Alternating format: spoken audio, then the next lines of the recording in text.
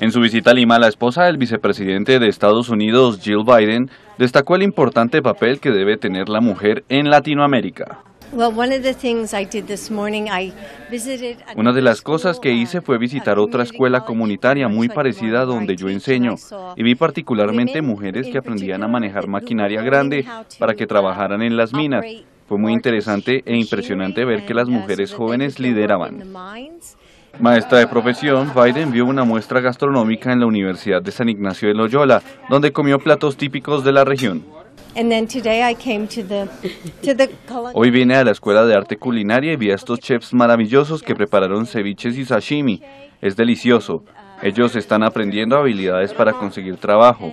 Perú es conocido por su cocina y obviamente esto es perfecto para capacitar a los aprendices para que logren trabajar. Tras su visita a Lima, Biden continuará con su gira en la región surandina de Cusco, donde también asistirá a centros de formación como el Colegio de Alto Rendimiento, creado para estudiantes de excelencia y de emprendimiento femenino. La gira latinoamericana de Biden comenzó el domingo en Costa Rica y continuará el 27 de junio en Panamá, después de su paso por Perú y Argentina.